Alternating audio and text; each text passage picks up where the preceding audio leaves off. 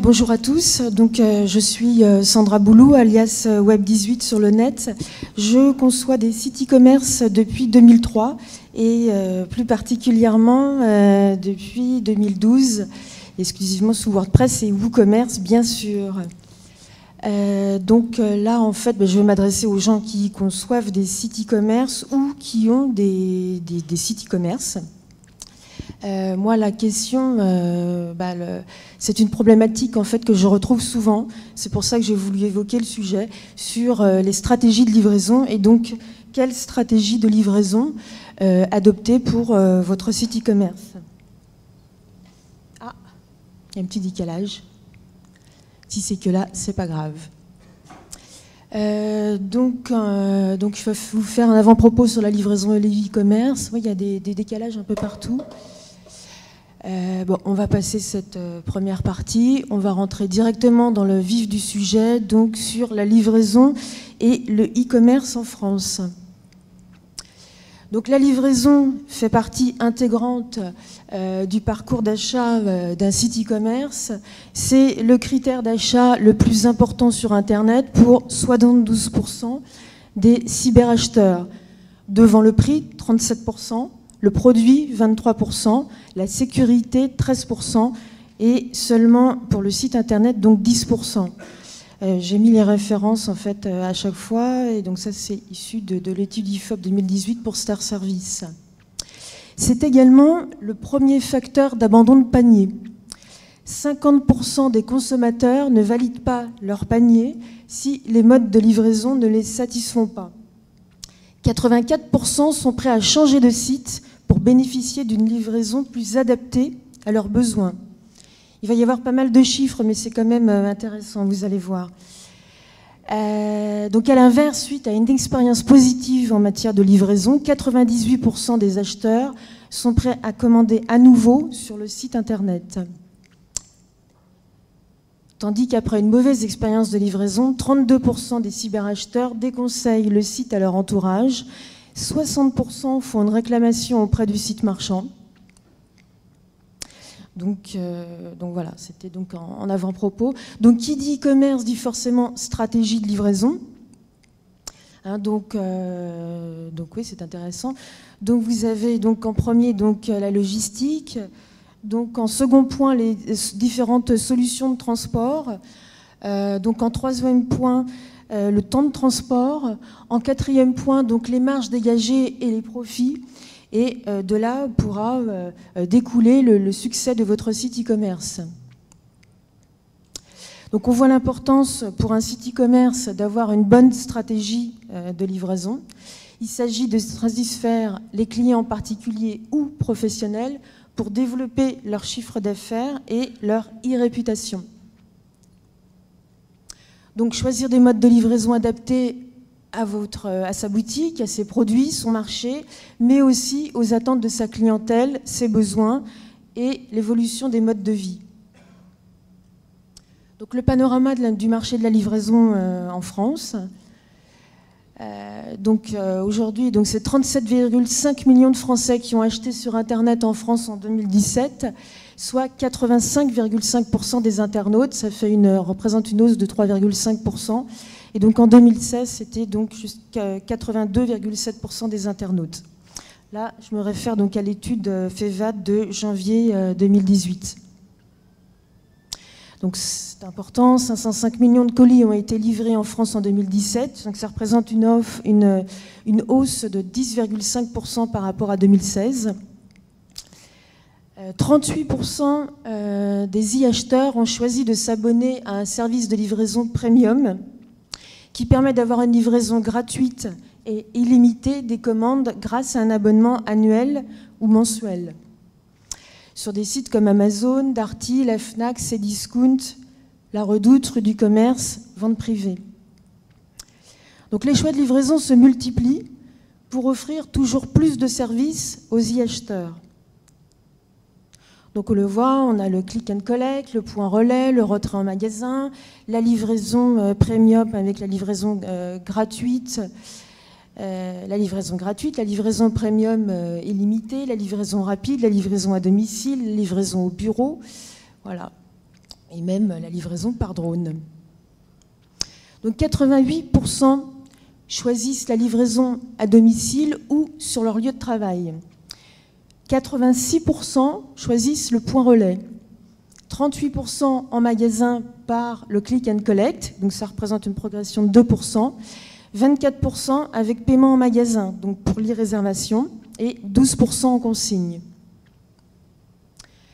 Donc, euh, donc, ça, je me réfère toujours à l'étude de la FEVA, donc avec un échantillon de 1000 acheteurs représentatifs de la population des e-acheteurs, en sachant qu'ils ont tous utilisé au cours de l'année plusieurs euh, modes de livraison. Donc les attentes des e-acheteurs en matière de livraison. La qualité de livraison repose en fait sur trois critères. Le respect des engagements de livraison pour 78%, la rapidité de livraison pour 64% et les informations sur le suivi de livraison pour 59%. L'attente des acheteurs est encore plus forte durant les fêtes de fin d'année. Hein, le respect des délais pour 95%, euh, l'efficacité et le suivi des livraisons pour 94%, et la réactivité du e-commerçant face à un problème pour 93%. Donc les différents critères de livraison en France. Vous avez donc les choix de la livraison et les délais qui sont les préoccupations majeures des e-acheteurs. Hein, le choix d'avoir des options qui répondent toujours euh, au, mode, de vie euh, et aux envies.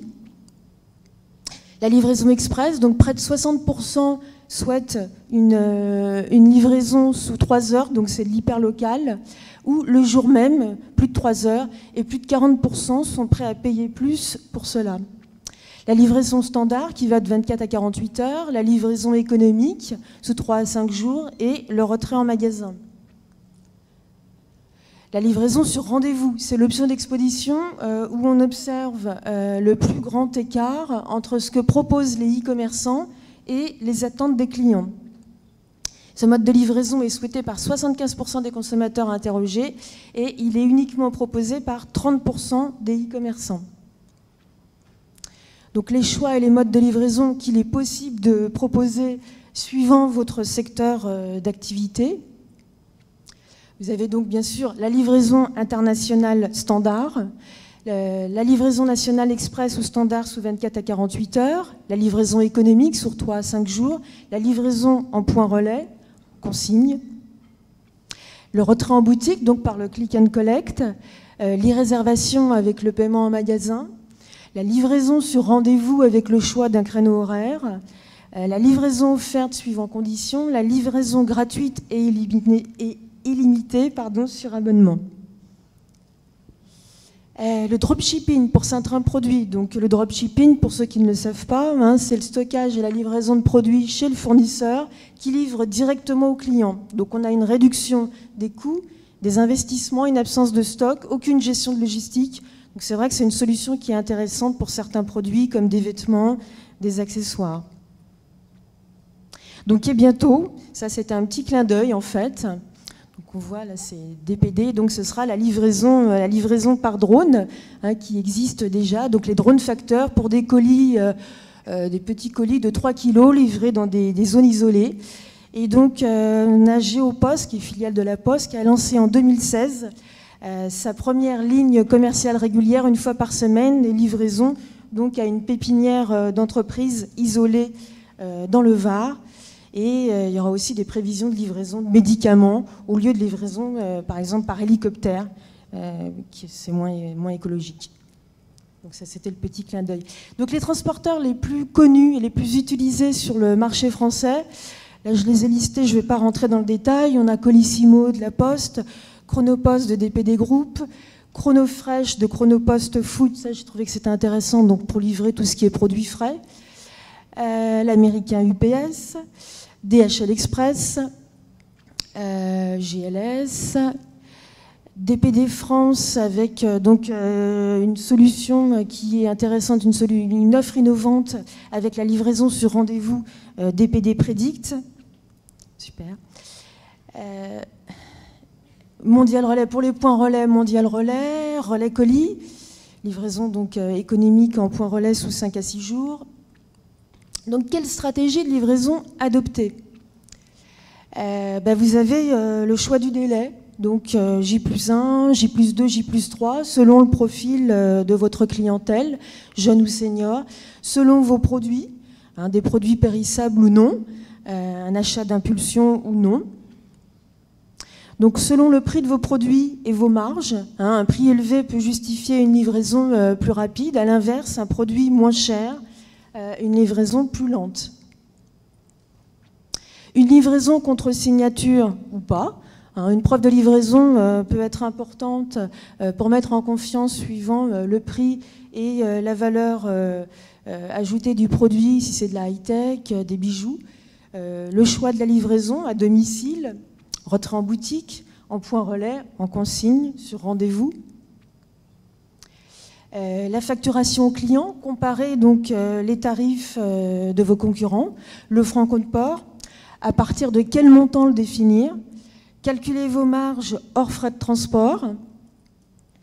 Si, vos tarifs sont concurrentiels, il eh faut l'annoncer dès le départ. Si vous livrez plus vite que vos concurrents également.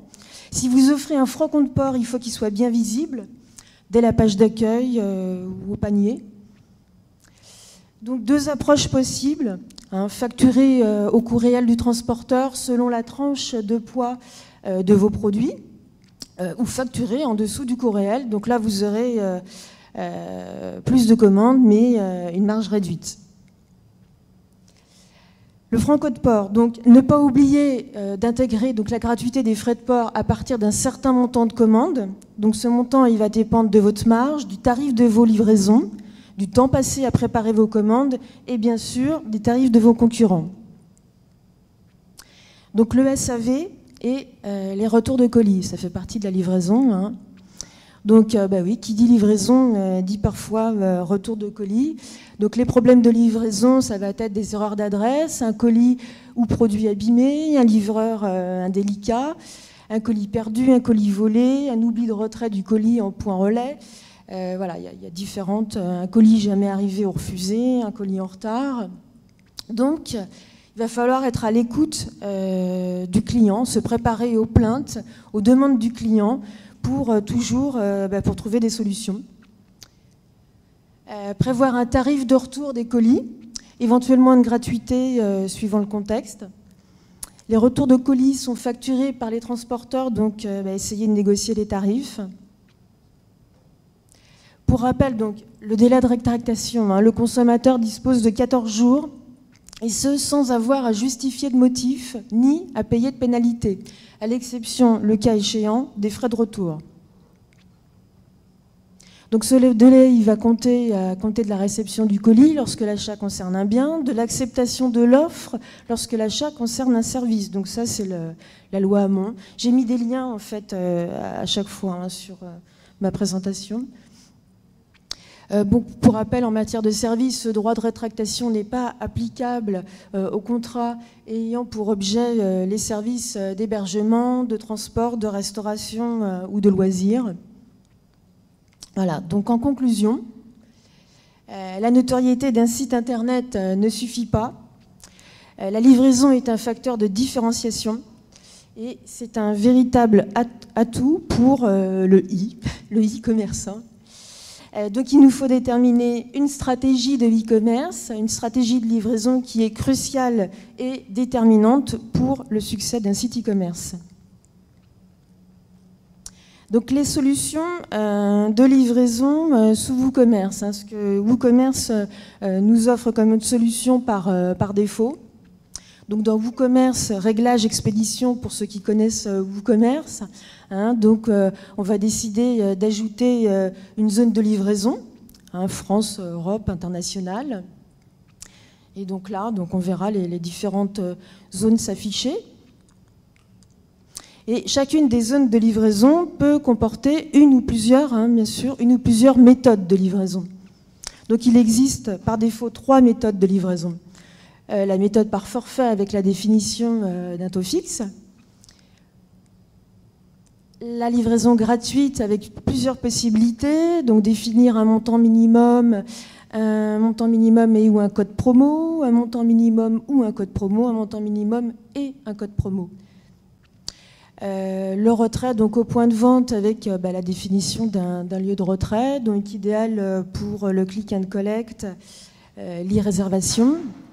Donc le point de vente, bah, le client va chercher sa commande en boutique, dans un showroom, dans un entrepôt. Donc là, vous pouvez ne pas compter de frais de port. Euh, donc la gratuité, ou définir un tarif différent euh, pour des emplacements euh, distincts. Donc là, on retrouve nos différentes méthodes d'expédition, hein, forfait, livraison gratuite, retrait au point de vente. Voilà. Et vous avez également, donc, pour affiner cela, les classes de livraison. Donc elles permettent de grouper des produits par méthode de livraison. voilà, elles permettent d'affiner effectivement nos méthodes et solutions et définir différentes règles de livraison associées à des classes de livraison. Euh, par exemple, si vous avez des produits fragiles, des produits encombrants, vous allez donc créer ces deux classes euh, de livraison que vous allez ensuite euh, pouvoir ajouter donc dans, le réglage forfait. Vous allez pouvoir définir un, tarif donc pour cette classe de livraison précise. Et bien entendu, cette classe de livraison, il faudra après euh, la définir euh, dans la page euh, produit concernée. Voilà. L'autre solution de livraison, ça va être le choix d'un courtier pour la gestion de, vos transports.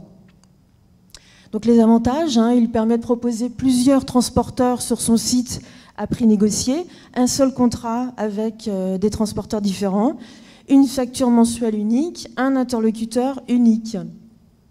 La gestion de la logistique, hein, la gestion des bordereaux d'envoi, certains font même l'emballage et l'expédition des produits. La gestion des retours simplifiés avec des bordereaux préintégrés. Euh, la simplicité, hein, euh, l'intégration d'un module unique sur son site plutôt qu'un ensemble de modules par transporteur, euh, parfois incompatibles les uns avec les autres. Donc, en premier, beaucoup connaissent Boxtal, donc c'est un module interne ou externe à WooCommerce. Donc là récemment ils ont mis en place un, connecteur mini module sur le site pour une meilleure gestion des envois et de retours, un suivi et honnête de paramétrage avec un bon support, bordereau d'envoi, suivi et tracking des commandes. Vous avez également SendCloud, hein, qui est un module interne ou externe à WooCommerce, suivi de paramétrage également, bordereau d'envoi. Et euh, SendCloud permet d'ajouter ses propres contrats négociés auprès de vos euh, transporteurs. Envoi du net, également un module interne ou externe, euh, des bordereaux, suivi de paramétrage. Et envoi du net donc, est très présent sur la région PACA avec des tarifs négociés au départ euh, de certains centres du sud de la France. ils apportent également beaucoup de conseils. Euh, sur la région donc, euh, de Paris, l'Île-de-France et bientôt Marseille et d'autres grandes villes de France, vous avez Wing qui donc s'est intégré directement par, dans WooCommerce par un intégrateur. Et donc eux collectent et emballent vos produits à partir de 100 colis par mois avec un tarif de 1,50€. Et après, donc, vous avez l'expédition, euh, pour l'expédition des produits, c'est des frais de port remisés en plus.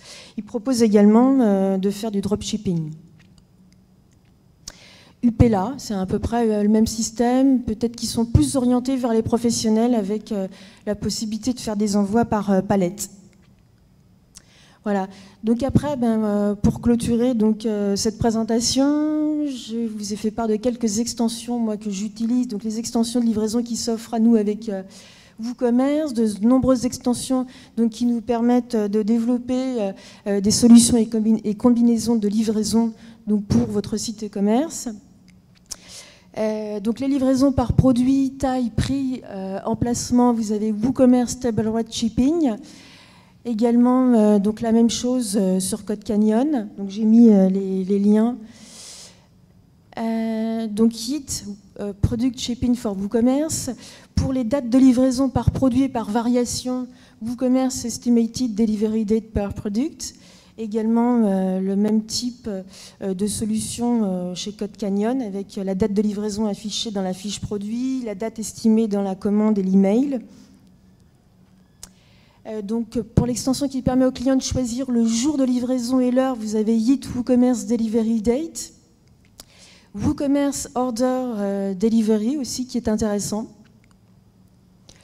Euh, WooCommerce Order Delivery or Pickup Date, donc pour choisir la date, l'heure de retrait, le jour de livraison prévu et avec un calendrier des différentes disponibilités. Il y a plusieurs langues proposées. WooCommerce Local Pickup Plus.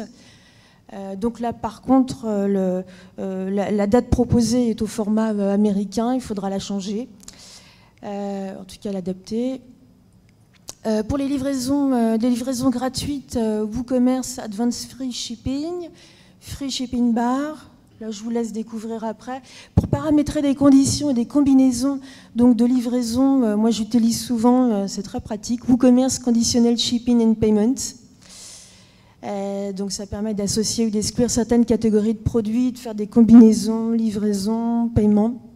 Et vous avez presque la même chose aussi sur Cut Canyon. Euh, voilà, la livraison par la poste, ben, vous avez donc Colissimo Delivery Integration avec euh, maintenant une, version euh, payante, donc avec tous les, services de la poste intégrés avec les points relais.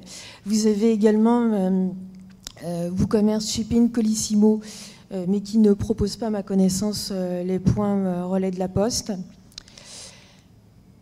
et, UPS, donc WooCommerce UPS Shipping, UPS Shipping Method. Et voilà, j'espère que ces informations vous seront euh, utiles pour euh, conseiller et, guider vos clients euh, donc en matière de livraison.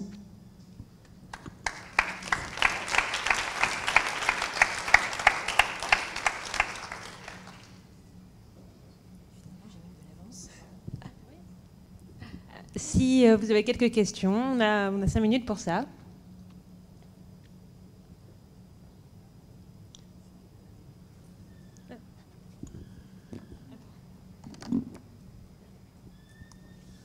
Oui. Euh, toute, toute, petite question, les prix indiqués entre parenthèses pour les extensions, c'était au mois ou à l'année? Ah non, c'est à l'année. Ok. À l'année, oui. Enfin, c'est pour avoir les, ah les mises à jour, en fait. Donc, euh, oui, oui, c'est pas l'année, c'est tout le temps, pardon. Excuse-moi. Tu les achètes. Après, ça dépend, en fait. Euh, sur WooCommerce, il faut effectivement, euh, pour bénéficier des dernières mises à jour, bah, les renouveler tous les ans. D'accord, c'est une licence à l'année. Sur WooCommerce, c'est comme ça. Sur d'autres, il fonctionne un peu différemment. Sur Code Canyon, c'est différent.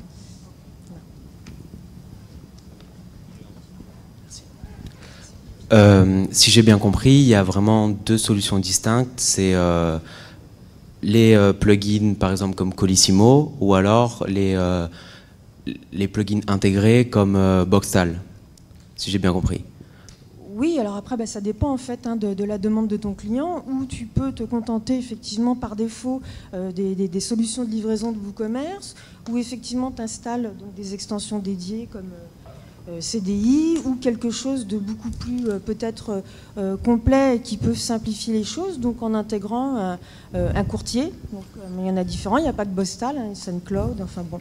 Donc voilà, c'est vrai que c'est simple. Au niveau des contrats, c'est simple aussi. Il y a les bordereaux, tout est pré-intégré et tu peux intégrer plusieurs transporteurs. D'accord, parce que moi j'ai un problème, c'est que personnellement je suis en train de développer un site internet on a pris la solution Boxtal et il se fait que malgré qu'il y a une automatisation des tâches qui est très simplifiée, par contre, il y a beaucoup de problèmes par rapport euh, au euh, calculateur de, des prix de transport.